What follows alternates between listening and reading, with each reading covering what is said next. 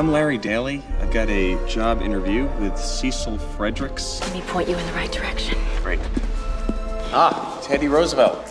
Yes, He was our fourth president, right? 26th. 26th. This is the kid who wants to be the new night guard. He looks like a weirdie. I'll give you a little tour. This is the uh, diorama room. I remember these little guys. On the left there is your Attila the Hun. And this is the Hall of African Mammals. Guy's cute. He's quite a little ball of fun, aren't you, Dexter? It can get a little spooky around here at night, so you might want to put a few lights on.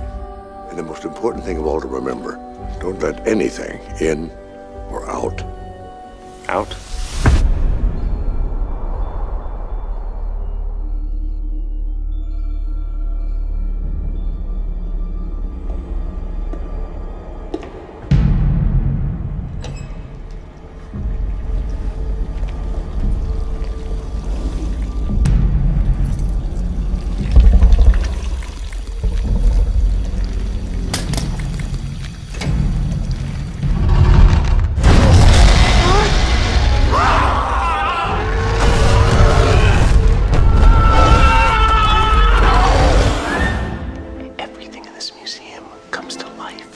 At night.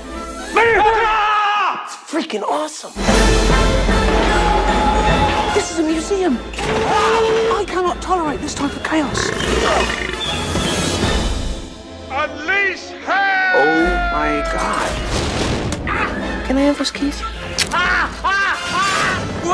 Fire up the Iron Horse, boys. Oh!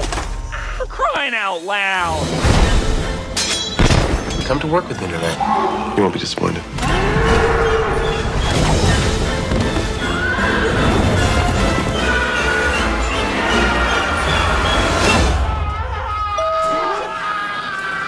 This is so